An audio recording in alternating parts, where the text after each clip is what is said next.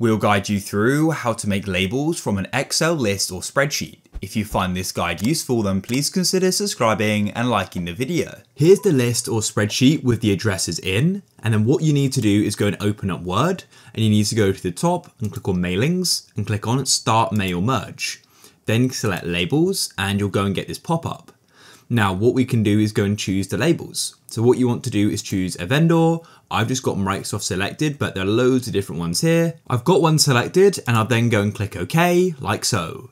And then what you need to do is go and click on select recipients and click on use an existing list. Now find the spreadsheet you want to do this with. When you have it selected, click on open. You'll need to select the sheet, which I've got selected, and here it is. Now what we need to do is choose what we want on the label. So go to the top and click on just above insert merge field on the icon. And now we can choose how we want the address to be. So I'm going to start a first name. I'll then press insert and close, hit a space, then click on that same button just above merge field. And I then want to add in the last name and I'll click insert. I'll then press close and I'll press enter. You get the idea.